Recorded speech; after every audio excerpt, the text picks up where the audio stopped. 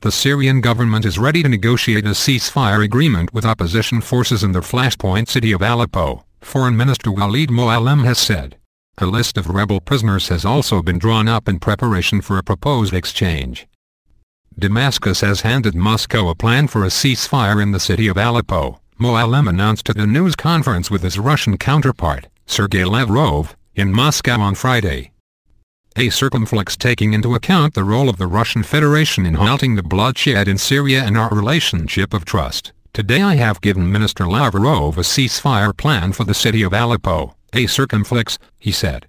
Moallem asked Lavrov to coordinate with his contacts in the Syrian opposition in order to ensure the execution of the new plan, adding that if it is successful it could be implemented in other areas of the war-torn country. A circumflex I really hope all sides will keep to the terms of the agreement.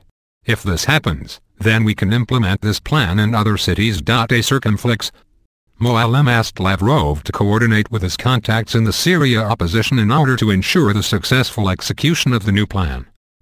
Addressing the issue of the humanitarian crisis in Syria, Moallem said the Syrian government is already working with the UN to deliver aid to a circumflex a number of regions. A circumflex, however, the success of the humanitarian program depends on rebel fighters keeping to their pledge not to open fire on humanitarian convoys, he said.